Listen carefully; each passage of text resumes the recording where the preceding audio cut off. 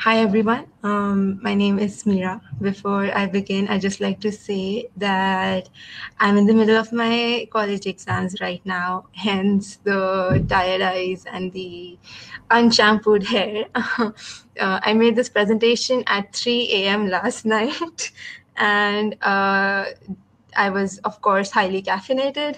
So, um, yeah, please just cut me some slack. I wasn't even sure if I was going to give this presentation um, or this talk, but I know that I gained a lot from my experience here at Fedora, and I wanted to share that with other people. Um, I know it's quite early for uh, some of you, so I'm very grateful for everyone who is here. Okay, so name covered, okay, former Outreachy intern. So I became a part of Fedora through Outreachy this summer. I was an intern with the design team and I worked on improving and uh, creating designs for Fedora's initiatives and events. Um, so I'm just going to show some of the stuff that I worked on during my internship. So I made this um, budget uh, template and um, these infographics. This is actually for the D&I team. This is my favorite one. And uh, there's also mention of Fedora Women's Day here. Um, I started working on the zine. Um, so this was a cover concept and a couple of artworks. And uh, this is actually a project I am, I think, for the winter cohort of Outreachy. So that's exciting. And um, just uh, some other stuff that I worked on along the way. Uh, I also gave a talk and uh, and held a workshop on Fedora badges during NEST 2020. So I uh, I took Marie's badges design workshop and I gave a talk on the basics of Inkscape and did a little demo. So that was really fun. And it's actually on YouTube right now on Fedora's um, official channel. So if anyone wants to see, uh, they can go right ahead. Uh, so uh, if I want to talk about my biggest biggest accomplishment here at Fedora, um, it's actually an invisible one, and I don't know. I don't think a lot of people know about this, but it was overcoming imposter syndrome. Well, sort of overcoming imposter syndrome. Uh, so to okay, so to give you guys a little bit of background, I uh, a couple of years ago, I decided to pursue the engineering track. And um, from that moment onwards, I received a lot of friction from the people around me, my friends, my family, the community. Uh, people would tell me that I was not meant for this, and I should pick something easier, something that is that I uh, that is more fitting for a woman. I, of course, ignored all of this. Uh, and then I got into a really good engineering college. But um, by that time, I had heard that I wasn't worthy or I wasn't good enough so many times that I'd actually started to believe it. And so when I got into my college, I felt like I wasn't worthy of this opportunity because that's all I had been told. I was patronized, I faced blatant sexism, harassment, microaggressions, mansplaining, everything a woman or a minority in the STEM field is subject to. And all of this um, sort of contributed to my imposter syndrome. And I started to feel like I was a fraud, that I was an imposter. And um, to overcome that. And and as a result i started to work more because i wanted to prove that i was worthy of the opportunities uh, that i was getting. And um, you know that i'm actually smart enough to do this. I actually can um, do more than you guys give me credit for. So around the same time i started my own business. I am very good at making stuff like painting and crafts. And uh, I had an Instagram page that I turned into a very profitable business. I was also approached by a company. Uh, I was also approached by a company that was sim- that with a sim- in a similar field, and I actually worked part time as their creative director. I participated in various clubs in my college, in various event organizing teams. I took workshop. I headed my college's art club. Uh, I volunteered. I was trying to get good grades and somewhat ac- uh, accomplishing that. And um, I did everything I could. But it still wasn't enough. I still felt like I wasn't working enough or that I didn't actually know anything and I was just faking my way through everything. Um, I felt like an imposter.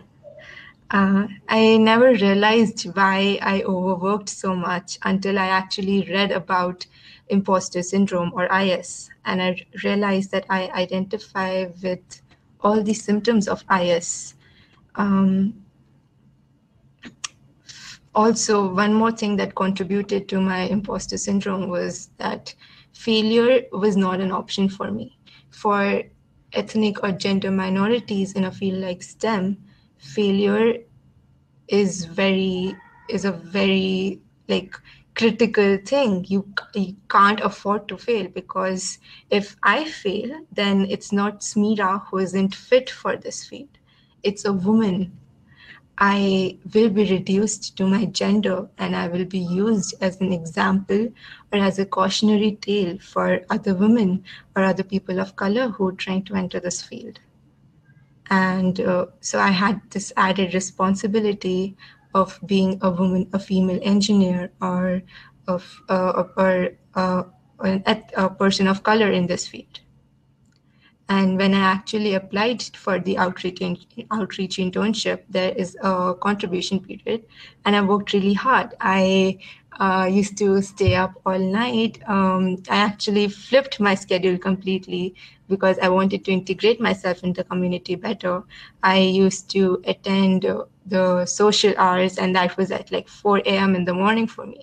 So I used to go, like, I used to attend the social hour, then uh, work more on my contributions, go to sleep, then wake up in time for college, and then do it all over again every day for weeks. And when I actually got selected for this internship, I was really happy. But my first thought was, why? Like, why was I selected? There were obviously like people who were way more deserving than me, and I don't actually do like good work. I I I don't think I am a, that good a designer that people like I can actually be selected for an uh, for a design internship. I forgot and neglected all the hard work that I had put in, and I felt like a fraud and an imposter. So yeah, I don't know if um, Marie knows this. I after this she will. Uh, but so we used to have these meetings. Marie was my uh, mentor, and we used to have these weekly meetings where she would discuss and give me feedback on uh, my work and whatever I had done the previous week. And um, I used to be so scared before every meeting.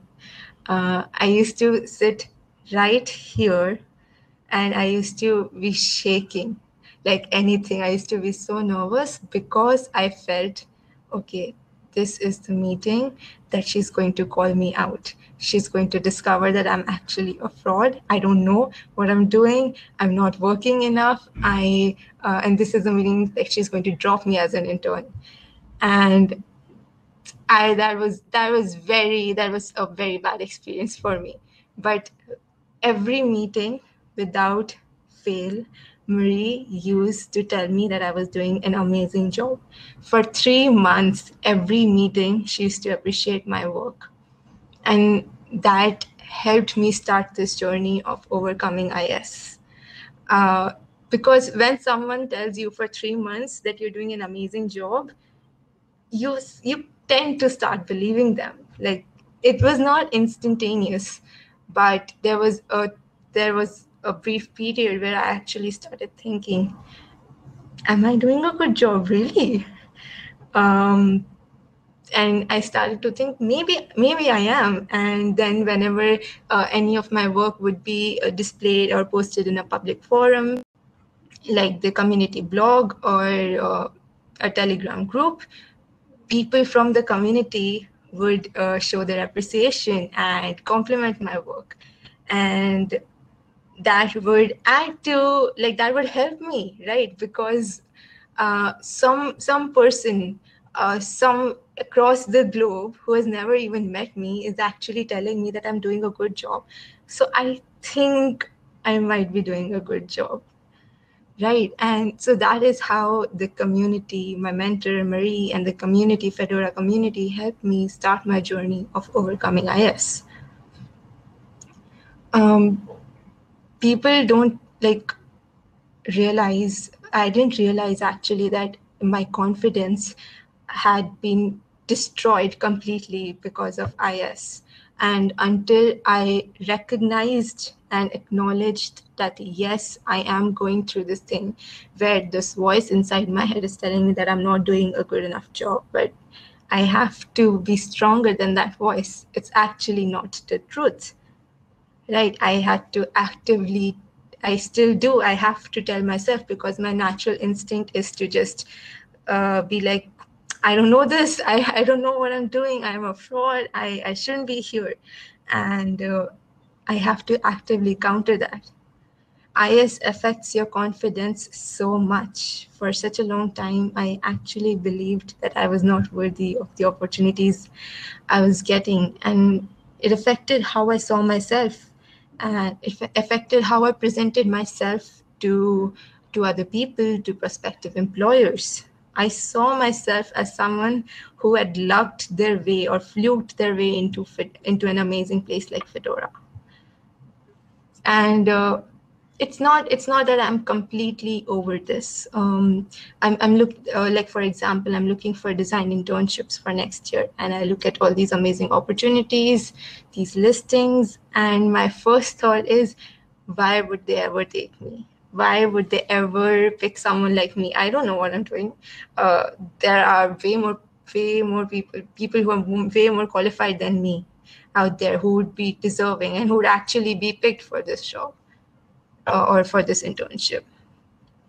And uh, so that is that is for me the next step in overcoming is it is being confident enough to present myself as a capable and worthy candidate. And i'm going to take that step right now. So this is how i'm going to see myself and how i'm going to present myself so if you or anyone you know is looking for a proficient designer with an amazing work ethic, excellent design skills, and a great aesthetic sense, then I'm the person for the job. It took me a really long time to believe that, but I think I do now. So thank you. Uh, okay so that that's the end. Um i'm gonna stop presenting. Uh, that was that was a little that was a little tough but yeah i got through. Um okay let me just go through the comments. Hi, hi. Marie. okay you almost had me in tears over here.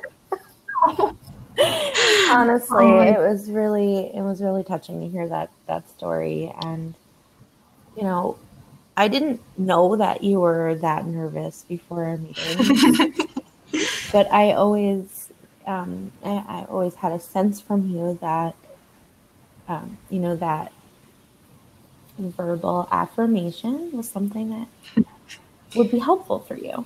So it was, yeah, yeah, and verbal and verbal affirmation is a great way to build up even just our peers um, yeah, exactly. You know, appreciating people for the good work that they do. And I think we do a really good job of that in Fedora. We try. yes. Yes. Um, so I'm glad that you found this community. I'm so glad that you found this community. And the internship was great. I just want to say that Smera did amazing work. She had she did have an amazing work ethic and worked really, really well with the community. Um, I mean, just you were like, oh, there's friends and people here. I want to be a part of this. Um, yeah. I so wish we could have had Flock this year and brought you out um, yeah. to meet everybody in person. But Uh, Yes. I think that'll be like next year or whatever. Um, Fingers So- crossed. so I guess um, currently, I just want to ask you a couple questions. So currently, what Yeah. what do you do with Fedora?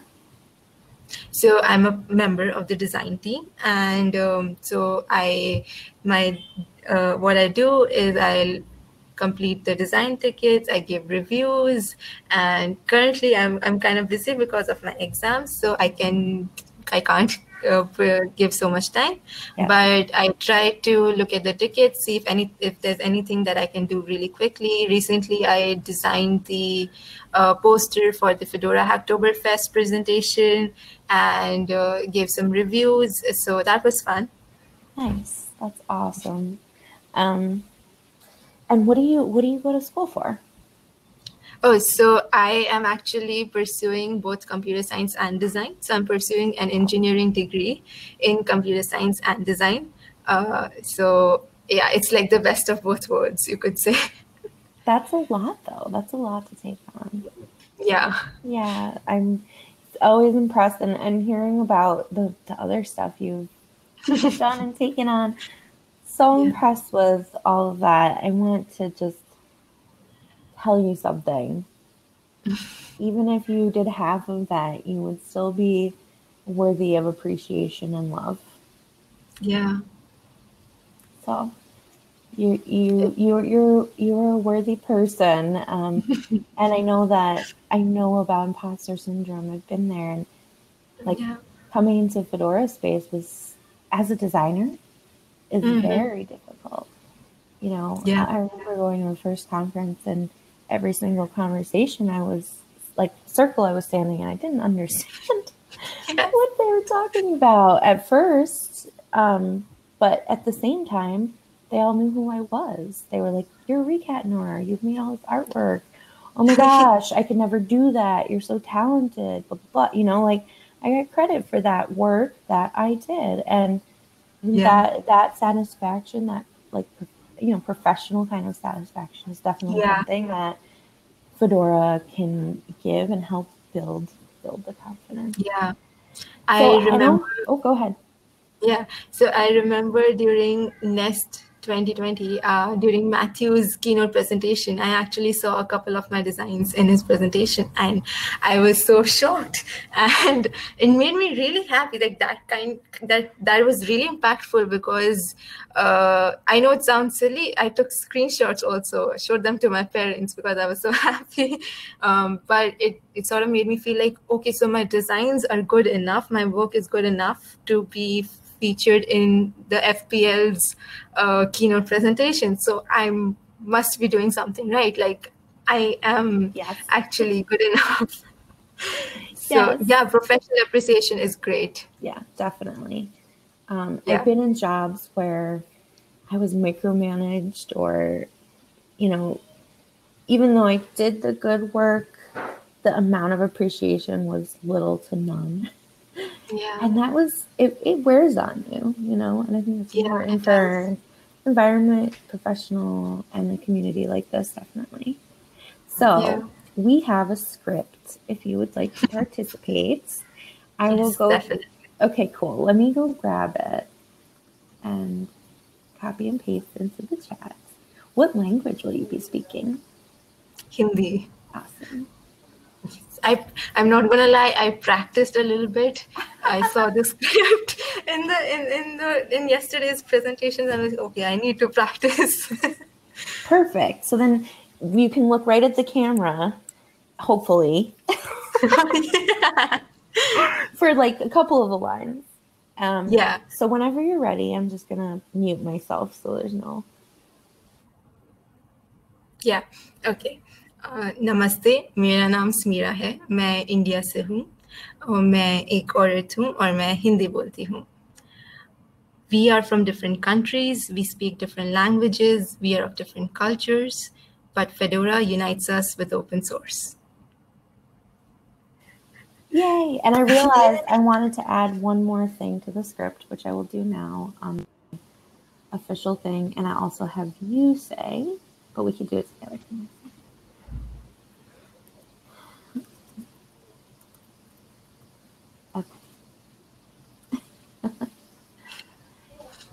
I realized the last, the Budapest video has that at the end. Oh, right. Yes. So I don't know if we can yell it, but I feel like if we just say it loudly and then we Yeah. we merge all the voices together, Voice. it will sound like a shout, right? So ready? Three, two, one. We are We are Fedora. No, we were off. Oh my god. You Okay. count, you count, you count. Okay. Three, two, one. We, We are are- Fedora. Oh my god. This is harder on video. yeah. this is fun. Okay, try it one more time. Okay. Three, two, one. We, We are, are Fedora. Fedora. I think it should be faster. Like, we are Fedora. Yes, like we are Fedora. Yes. Yes. I think we have so many takes we can, you know, cut and splice some tracks. we will find one useful There's so track. many lovely comments here. Thank you for sharing. You're amazing. Very authentic. Smera is awesome. I agree. Well, thank nice to you for coming and presenting at Fedora Women's Day and participating throughout the weekends. Um, Yeah. We're so lucky to have you in Fedora. Oh, I'm lucky to be here. Mhm. All right. Well, I'll Yeah. see you around and I'm going to jump off. Yes. Bye. Bye bye. Thanks everyone for joining. I'll also leave, but your words, like reading your comments, actually makes me feel really nice. So thank you.